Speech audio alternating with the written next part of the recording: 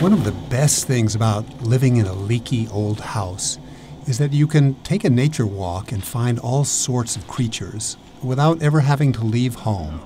Okay. There's one.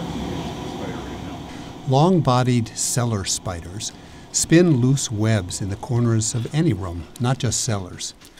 Their webs can be annoying, but they do have one endearing characteristic they love to dance. And they got themselves into such a frenzy. They're originally from southern Europe. People sometimes call them daddy longlegs, even though real daddy longlegs are not true spiders.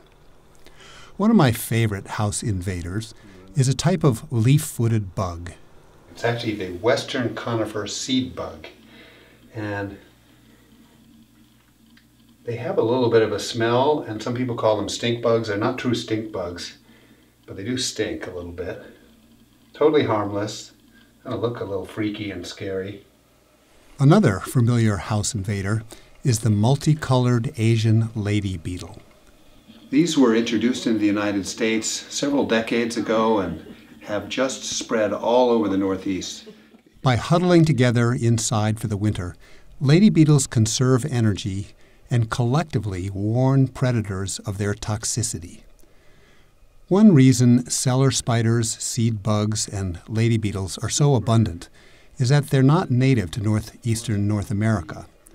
So they've left behind the predators and parasites that normally would have controlled their populations.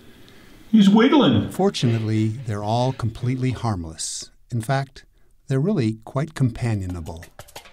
Look, they've been at this for four minutes.